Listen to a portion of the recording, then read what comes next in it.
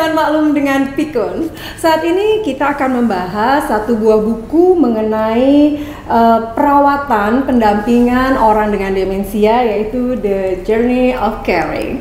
Nah, buku ini ditulis oleh Diwai Suharya sebagai uh, founder dari Alzheimer Indonesia dan saat ini juga Diwai uh, menjabat sebagai Regional Director Alzheimer Disease International Asia Pasifik. Jadi pegang 20 negara, betul ya Diwa ya? Betul. Dan Diwa tidak sendiri menulis buku ini bersama dengan Dr. Yuda Turana yang mana sebagai Dewan Pembina Alzi juga. Iya. Dan yang lebih pentingnya lagi adalah ada 30 kontributor yang luar biasa yang ikut terlibat dalam pembuatan buku ini. Iya. Yuk langsung aja kita ngobrol-ngobrol bersama Diwai Suharya. Diwai, sebenarnya message yang mau disampaikan dari buku ini apa sih? Message yang mau disampaikan dari buku Journey of Caring adalah memberi jawaban hmm. untuk orang dengan demensia dan caregivers, terutama untuk caregivers ha. dalam uh, merawat dan mendampingi orang yang mereka sayangi. Uh, kebetulan uh, pengalaman kita merawat dan mendampingi almarhumah mama hmm. uh, 20 tahun bahkan sebelum didiagnosa sudah menunjukkan gejalanya. Ah. 10 makanya kita ciptakan 10 gejala uh, Alzheimer, Alzheimer ini ya. dengan bentuk brosur ini. Ya.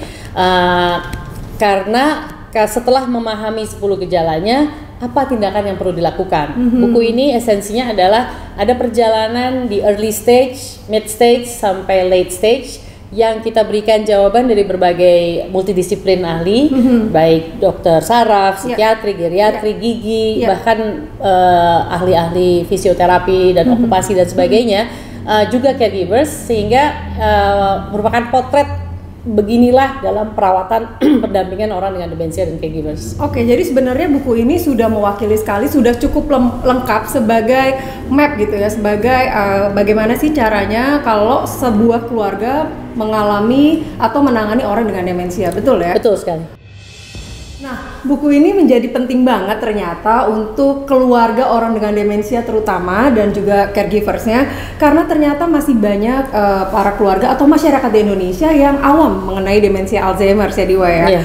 Nah, eh, pesan-pesan uh, atau ada yang paling penting banget nggak yang di sini yang bisa disampaikan beberapa contohnya? Seperti... Contohnya misalnya di buku ini di halaman 93 tentang tips berkomunikasi uh, dengan orang dengan demensia. Kalau kita paham tipsnya, caregiversnya jadi nggak ribet, nggak pusing, nggak mm-hmm. bingung dan mm-hmm. sebagainya. Karena orang dengan demensia begitu mereka sudah mendapat diagnosa, uh, yang mesti berubah adalah caregiversnya. Gitu. Ah, jadi bukan ODD-nya yang dipaksa ya. Hmm. Karena memang komunikasi ini menjadi salah satu tantangan terberat juga untuk para caregivers gitu Betul. ya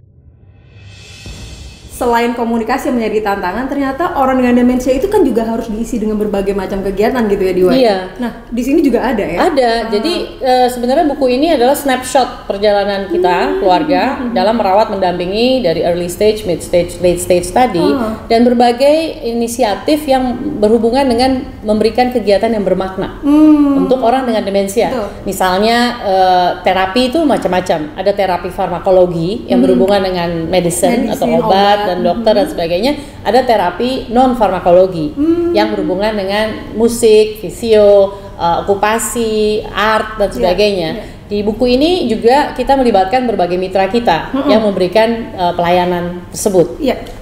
Dan misalnya tadi uh, demensia belum ada obatnya, yeah. jadi uh, obat hanya menghambat progresivitas. Hmm. Makanya yang harus kuat dan harus siap secara fisik, mental, dan harus uh, solid adalah keluarga. Keluarga jadi menjadi sangat penting. Poin yang penting adalah dukungan dari keluarga. Ya. Dan seperti tadi sudah disampaikan bahwa berbagai kegiatan uh, yang harus diberikan kepada ODD dua-duanya memiliki penting yang sama ya, ya. baik secara farmakologinya Betul. maupun uh, non farmakologi gitu ya. Betul. Okay. Dan rangkumannya hmm. apabila ada orang yang uh, memahami tentang 10 gejala hmm. demensia Alzheimer um, ada lima langkah yang perlu dilakukan oleh hmm. keluarga yang kita bisa bahas di video berikut yang okay. lebih detailnya. Tapi intinya adalah um, cari tahu komunitas peduli Alzheimer di wilayahnya.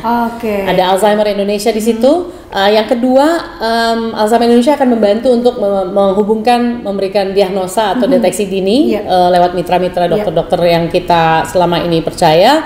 Yang ketiga, uh, dukungan keluarga sangat penting. Hmm juga menyiapkan rencana perawatan pendampingan atau care planning. Ya. Dan yang terakhir, uh, tentunya setelah bergabung dengan komunitas kami atau mencari tahu berbagai tekniknya dalam merawat mendampingi ini lewat pelatihan maupun kegiatan lainnya, secara konsisten terus uh, terlibat dan berkomunikasi di wadah platform kami. Nah, begitu deh untuk seluruh masyarakat Indonesia. Jadi sebenarnya buku ini adalah menjadi salah satu media atau salah satu alat bantu untuk keluarga maupun caregivers dalam perawatan pendampingan orang dengan demensia. Tapi Alzheimer Indonesia juga memberikan video-video tips yang sangat uh, informatif untuk Anda semua mengenai orang dengan demensia.